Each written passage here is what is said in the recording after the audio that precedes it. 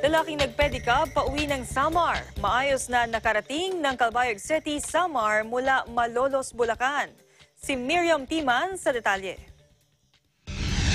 Nag-viral sa social media ang lalaking umuwi ng Samar gamit ang depadjak na tricycle. Siya ay nawala ng trabaho dahil sa pandemya, kaya minabuti na lang niyang umuwi ng Samar. Siya ay si Jonas Banal o Rene Boy Salvador, 32 taong gulang at nakatira sa barangay Talahid, Almagro, Samar.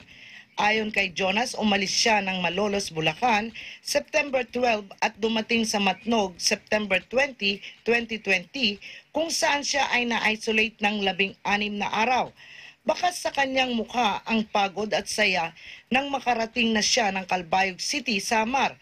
Sa tulong ng mga Samareño, ilan sa mga ito ay ang Kabalikat Civicum Victoria at San Isidro Chapter na naghatid sa boundary ng Calbayog kung saan sinundo naman siya ng Kabalikat Civicum 427 Calbayog Chapter na tumulong na maihatid sa quarantine facility sa Northwest Samar State University o NWSSU hanggang sa ito ay makasakay ng bangka patungo sa isla ng Almagro. Samantala, nagpapasalamat si Jonas sa lahat ng tumulong sa kanyang paglalakbay hanggang siya ay makauwi ng Almagro.